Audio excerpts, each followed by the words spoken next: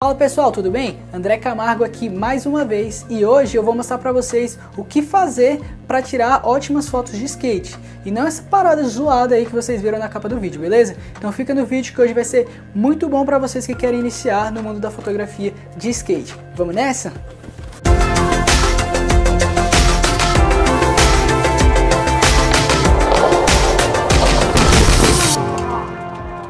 Para a gente começar aqui, a gente precisa entender o que faz uma foto de skate ser boa.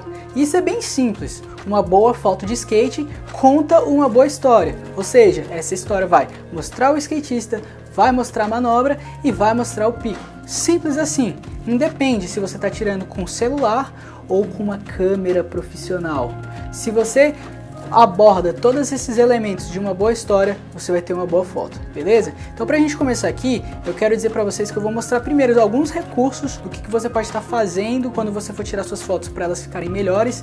E depois eu vou levar vocês para o computador e mostrar ali alguns exemplos de algumas fotos que não são boas, o que, que você pode estar evitando para não fazer aquilo, beleza? Então é o seguinte, é extremamente importante quando você for tirar uma foto que você preste atenção no seu enquadramento que o seu enquadramento vai mostrar o skatista, vai mostrar o pique vai mostrar a manobra. Sem ser aquelas fotos ali que tem o skatista e o fundo é o céu e você não vê mais nada.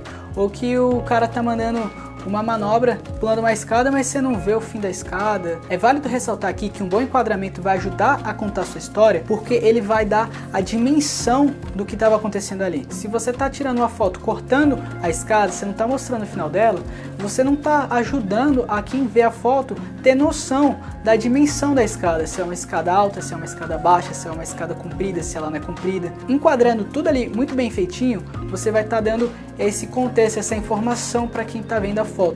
E aí, com certeza, se for um pico difícil, essa dificuldade do pico vai valorizar a manobra, consequentemente, a sua foto também vai ser valorizada. Então preste atenção seu enquadramento, que isso é extremamente importante, beleza? Outra coisa que você também deve estar se preocupando na hora de tirar foto é o moment.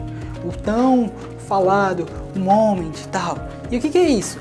o moment da foto do skate é aquele momento mais dramático da manobra, entendeu? O momento que o cara tá mais alto na manobra, ou que ele tá mais esticado, entendeu? É uma parte mais dramática. Basicamente, o moment é o melhor momento para você tirar aquela foto. Dependendo do equipamento que você esteja usando para tirar suas fotos, é bastante interessante também que você se preocupe com a iluminação. Se você está tirando fotos durante dias bastante ensolarados, com sombras bastante fortes, você tem que ficar atento, né? Às vezes você vai pegar um lugar que a pessoa vai ficar muito escura ou que o céu vai ficar muito estourado. Então, assim, tentar arrumar ou um horário melhor para tirar foto, se possível, claro, ou tentar contornar esse problema com a iluminação. E aí que chega a galera usando os flashes, né? Os flashes estão aí primeiro para suprir essa falta de luz em alguns momentos ou acrescentar um pouco de luz quando falta, né?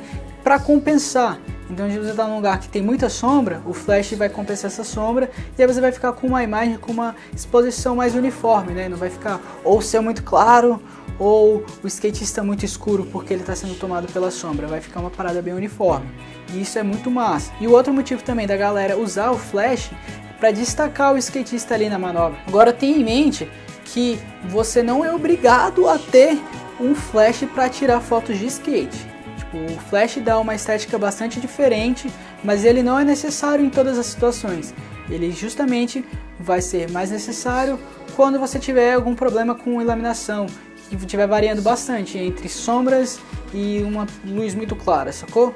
Se você não tem, não se preocupe, se vire com o que tem, que você também vai conseguir tirar fotos muito boas, se preocupando com as outras coisas que eu te disse antes, beleza? É sempre válido lembrar aqui também que a fotografia é arte, né? Então você fica livre para criar. Eu tô te dando algumas dicas aqui para fazer o, a receitinha, o feijão com arroz ali, a coisa básica que vai dar certo, que vai ficar bom. Se você quiser experimentar, experimente, faça algo diferente porque você está querendo aquilo, por mais que fique bom ou não. Só não me venha fazer coisa assim aleatória, na loucura, sem saber o que você quer fazer, porque a chance de ficar ruim é quase 100%, beleza? Então, saiba disso, saiba o, básico do que fazer bom, e aí, se você quiser fazer diferente, faça com propósito, beleza? É show de bola, não tem erro. Essas dicas aqui, velho, é sucesso. Você colocou ali, a foto vai ficar boa. Enquadrou bem, pá, show de bola, beleza? Então vamos pro computador agora, que eu vou mostrar para vocês alguns exemplos do que não fazer e vou te falar o porquê que ficou ruim, sacou? E o que, que você pode fazer para estar tá melhorando. Então vamos nessa. Beleza, já estou aqui com o computador aberto e eu vou mostrar para vocês nesse site o que você não deve fazer, né? Quando você procura foto de skate, é comum você achar esse tipo de foto e eu vou mostrar aqui para vocês por que não é legal, beleza? Então, primeiro assunto aqui que eu vou comentar com vocês vai ser o tal do moment, né? E eu vou mostrar aqui duas fotos de flip, como é que elas ficam diferentes. Então, olha só, beleza? A gente vai procurar aqui é muito comum a gente ver galera começando a tirar foto desse jeito, ó. O cara tá saindo do chão, você vê que ele vai girar o flip, mas o cara não quis esperar um pouquinho a mais para tirar foto. E aí não ficou tão dramático, né? Sem contar aqui que o cara tá de costas, você só vê a bunda dele e tal, não, não é um melhor enquadramento pra você fazer não. Beleza. Aqui, nessa outra foto, você já vê um momento totalmente diferente. Você já viu que nessa situação o skate já girou e ele tá catando. Então você vê ele aqui com a perna esticada, quase como se estivesse dando uma voadora para pegar o skate. Ele tá muito mais alto no ar, né? Você não vê o skate tão na vertical fica um moment muito mais interessante, né? Isso no caso do flip, cada manobra vai ter um moment mais interessante, mas isso aqui é para vocês entenderem a diferença que faz tirar foto num moment certo ou errado, beleza? E outro, outro exemplo aqui de moment, né, que é o mais clássico de vocês verem quando a galera começa a tirar foto, vai mandar o ollie e faz essa maravilha aqui, ó. Olha só que foto linda, meu. Nossa senhora, não vou nem falar nada, é só isso, ó. Só, só, só pegue o sorriso dele e veja essa manobra aqui, moment maravilhoso. Então, beleza. Outra coisa que eu vou comentar aqui com vocês agora é, é o enquadramento. Então, eu vou mostrar aqui alguns exemplos, né? Por exemplo, esse aqui. Ignora o fato que ele não está mandando nenhuma manobra, que isso aqui deve ser tipo ator para fazer foto de campanha, de publicidade ou qualquer coisa. Mas olha só aqui, ó. Você não vê a cabeça do cara, você não vê o final da, da rubazinha que ele tá andando. Você não tem informação para dar contexto nessa foto, sacou? Tipo, você não tem informação.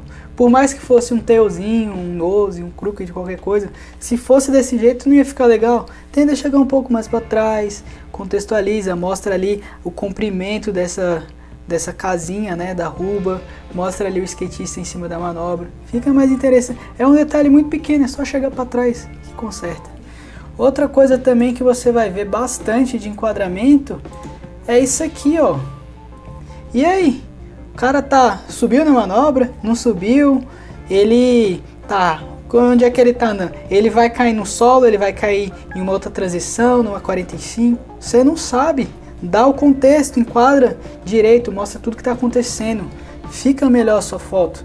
Que o cara tá só solto no ar, você não sabe o que está acontecendo.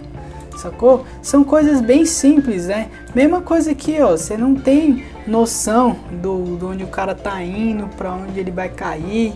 Aqui o cara ainda teve o braço decapitado, o capacete também decapitado. Preste atenção também que faz uma diferençazinha, fica fica mais legal e harmônico essa foto.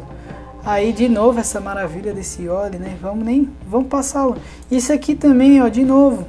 O cara perdeu a cabeça. Que coitadinho que que ele fez para perder a cabeça. Enfim, vocês viram aqui que poucas coisinhas deixam a sua foto totalmente zoada, né? Então quando vocês forem tirar suas fotos, tome cuidado para não terem esse tipo de probleminha que vai deixar a foto de vocês um pouco mais zoada do que ela ficaria se você não tivesse feito esses errinhos, né? Espero que vocês tenham entendido a diferença entre uma foto boa e uma foto ruim e como vocês alcançarem essa foto boa, o que vocês vão pensar na hora de tirar essa foto, né? Espero que vocês tenham gostado bastante desse vídeo. Se vocês quiserem ver outro vídeo de eu mostrando um pouco meu processo criativo de como eu edito as minhas fotos de skate, vou deixar aqui nos cards o link para esse vídeo, beleza? Então, se atentem nesses detalhezinhos que eu te falei hoje, que vocês vão tirar fotos de skate bem melhores, beleza? Então espero que vocês tenham gostado do vídeo e até o próximo.